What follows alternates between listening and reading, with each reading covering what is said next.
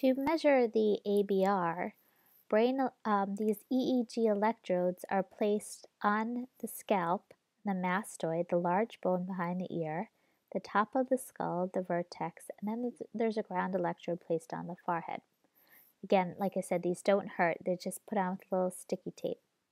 The stimulus, the clicks, click, click, click, click, click, click, click, are used to generate the response. So the stimulus is a bunch of click, click, click, click, clicks, then the response is recorded by the electrodes. Each wave, we're most interested in the first one through five waves, represents the neuroelectrical activity at one or more sites along the auditory brainstem.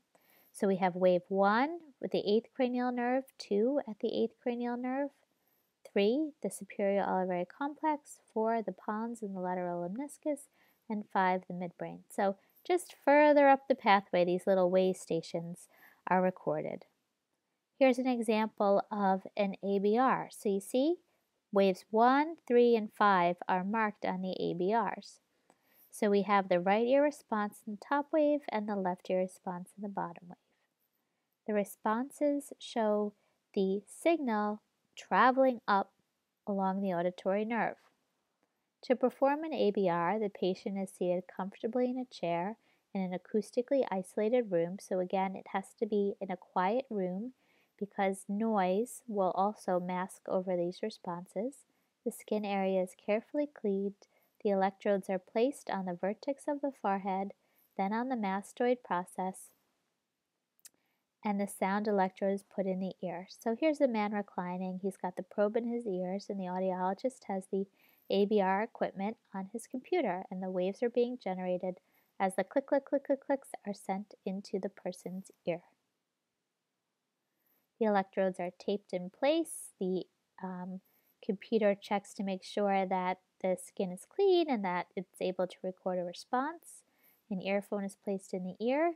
You have a series of 1,000 to 2,000 clicks presented very quickly. So click, click, click, click, click, and it starts at a level of 70 dBHL. The test isn't affected by the sleep state.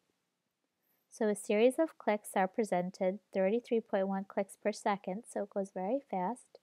The ABR waves appear as several narrow peaks and troughs within the first 1 to 10 milliseconds from signal onset. The main peaks that we're looking for are 1, 2, 3, 4, and 5.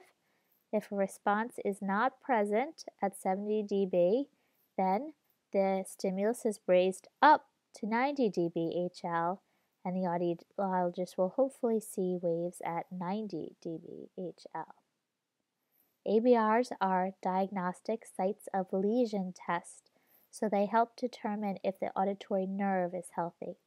They are sensitive and they are specific. They are efficient in detecting lesions or cancers on the auditory pathway through the brainstem. So they are uh, helpful with eighth auditory nerve tumors.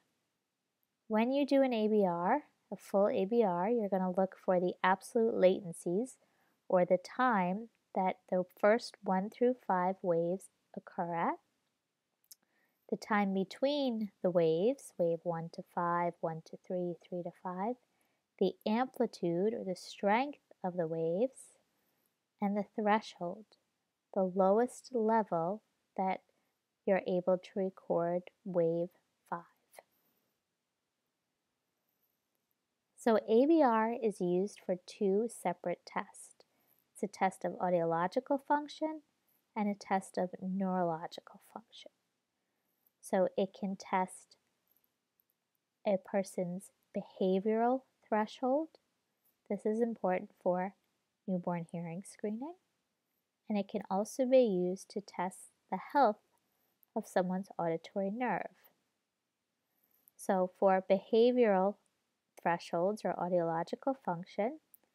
The audiological threshold in the frequency range from 2 to 4000 Hz can be inferred by the lowest intensity at which wave 5 is identified. The wave 5 is the last wave to disappear. So testing behavioral threshold with ABR.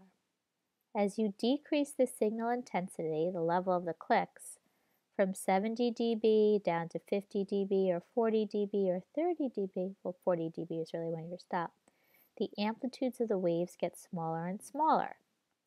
The ABR threshold is the lowest level at which the wave 5 can still be observed, and it's usually within 10 to 20 dB of a person's actual threshold. So if you can find a wave 5 using a signal intensity of 40 dBHL, that means the baby has no worse than a 20 dB hearing loss, no worse than a mild hearing loss. So this test is used for a diagnostic diagnosis of hearing loss, right? So to diagnose a hearing loss or the degree of a hearing loss, you send the clicks in and you do a threshold search where you keep going down with the intensity of the clicks until wave 5 disappears. When wave 5 disappears, that's 20 decibels within the, the range of the person's actual behavioral threshold. Another important function of ABR is to use it for neurological testing or to assess the integrity of the central auditory pathway. Neurological lesions cause an increase in the timing or the latency of the peaks which indicates a slower auditory response. The slower auditory response may be due to a tumor weighing on the nerve or an abnormal central nervous system disorder such as multiple sclerosis. The ABR is considered neurologically abnormal, indicating neuropathology affecting the auditory pathway of the brainstem when any of the following occur the inner peak intervals are prolonged. For example, the distance between waves 1 and 5, 1 and 3, 3 and 5, or when wave 5 is significantly different between right ears and left ears. So if the right ear shows a normal latency, but the left ear shows an abnormal latency, that means there's probably a growth in the left ear. Any sort of asymmetry is a red flag. If your amplitude ratios are also abnormal, if the amplitude of wave 5 is always supposed to be larger than wave 1, but if they're different, if they're abnormally different, that's also a sign that something might be off.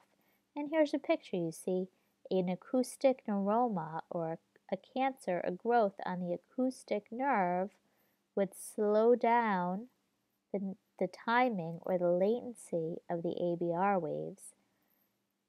And there's your neurological, the use for neurological testing. So ABR can be used for two things. To test behavioral threshold by looking at that amplitude of wave 5 when wave 5 disappears, or neurological function by looking at the latency, the timing of the waves.